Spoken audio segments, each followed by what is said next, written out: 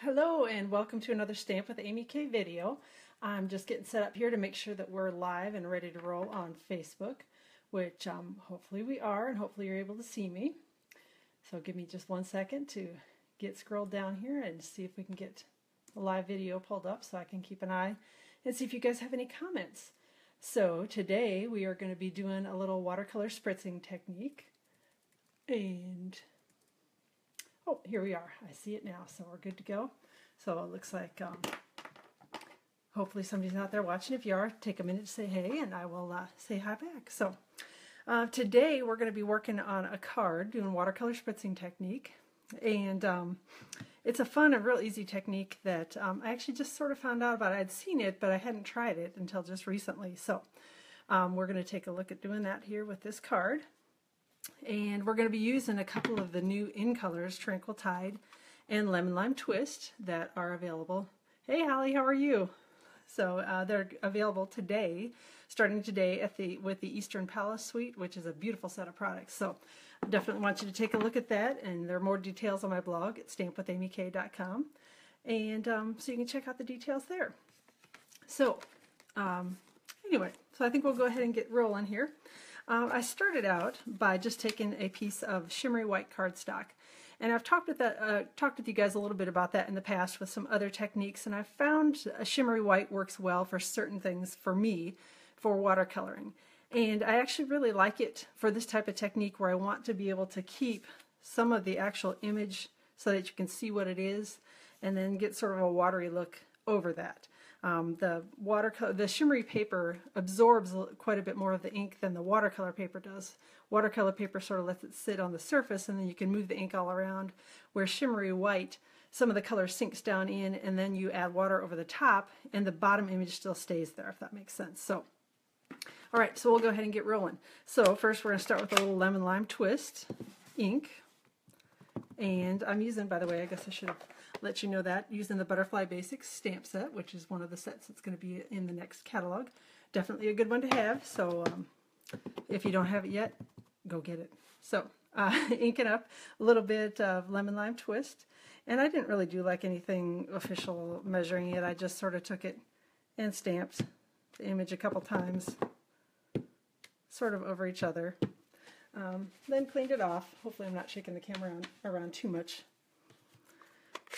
And then took a little Tranquil Tide ink and added in a couple more of the fern leaves. Make sure I got a good coverage there. And again, there was no precise measuring. I just sort of stamped it.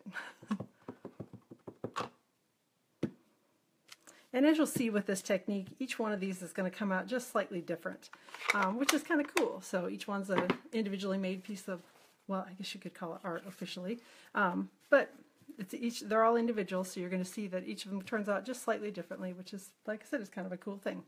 So got my inks on the paper, and then I'm going to take a Stampin' Spritzer, which these are available in two packs, and um, they're $3 in the catalog. And just real easy, make sure you're pointing the spritzer at your piece of art rather than at your face. Not that I've done anything like that before, but um, just a little warning. So make sure you got it pointing down.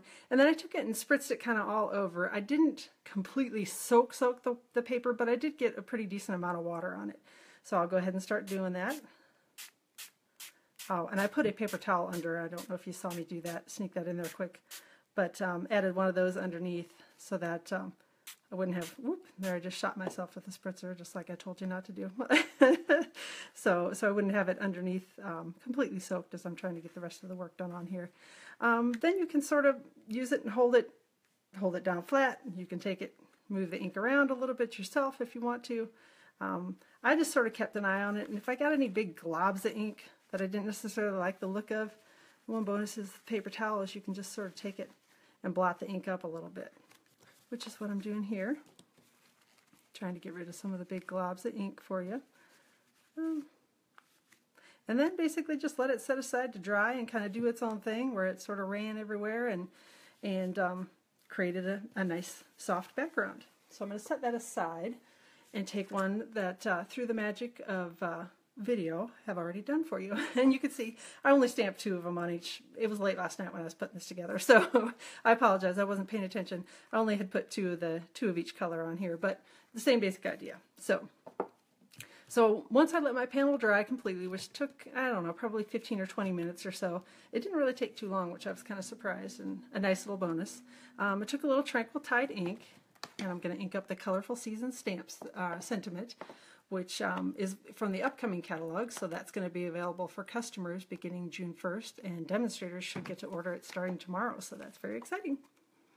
All right, took a little Tranquil Tide ink, and hopefully I won't make a mess of this since I'm on video. Inked up the uh, image, and then stamped it down. And I always hold it for just a second, particularly with the photopolymers. I don't know. I try not to smoosh it down, but just hold it down. And that usually gives me a nice clean image, which that one did.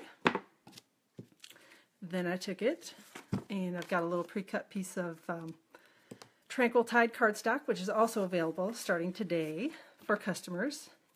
And I'm going to use a little bit of the green glue, hopefully. Ooh, there we go. I'm going to adhere that to my cardstock. One nice thing about green glue is it's super strong adhesive once it dries, but you get that little bit of wiggle room in it, which I like, because sometimes, as you can see here, I get things a little off-center, and the green glue lets me uh, sort of wiggle it around a little bit. All right, done with that part. Um, then after I did that, I took a couple Stampin' Dimensionals. And I tried to have all this stuff handy right away. Of course, uh, it's always just out of my reach or I can't find it.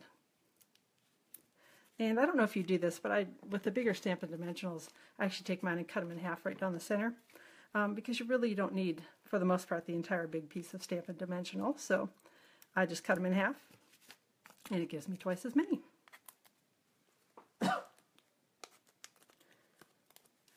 Off the little wrappers, liners, whatever they're called officially.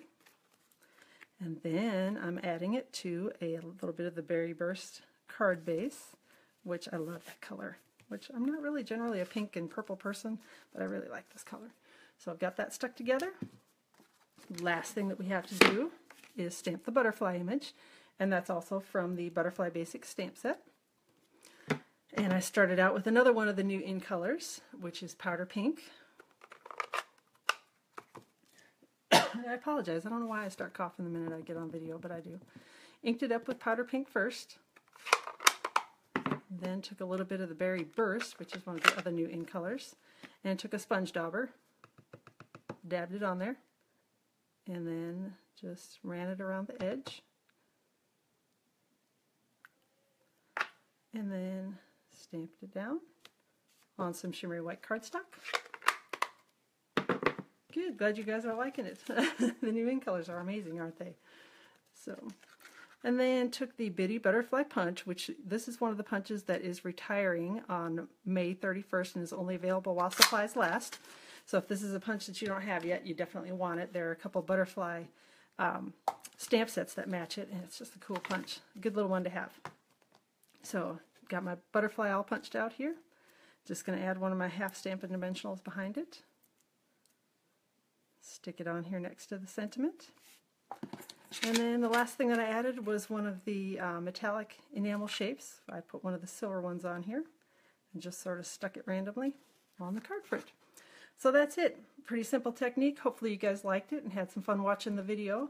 Um, I'll show you my original one here that I sprayed is starting to dry up a little bit. And like I said, there's some, gobs of ink on it that I don't necessarily like the look of, so I just took the paper towel, kind of kept an eye on it, and um, blotted those up. So this one is the one that's drying and will be the next card front that I'll be working on. So let me know if you guys have any questions. Hopefully you liked watching the video and like seeing the technique. Like I said, it's real simple, real fun.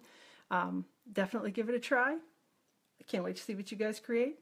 Stop back by my blog, stampwithamyk.com anytime. Leave me a question. I'm happy to help out any way that I can. Thanks so much for watching. And uh, again, post a question on the video if you have anything, and I'll be out hanging out on Facebook uh, for a couple minutes and I'll answer anything that I've got. Thanks again. Have a good afternoon.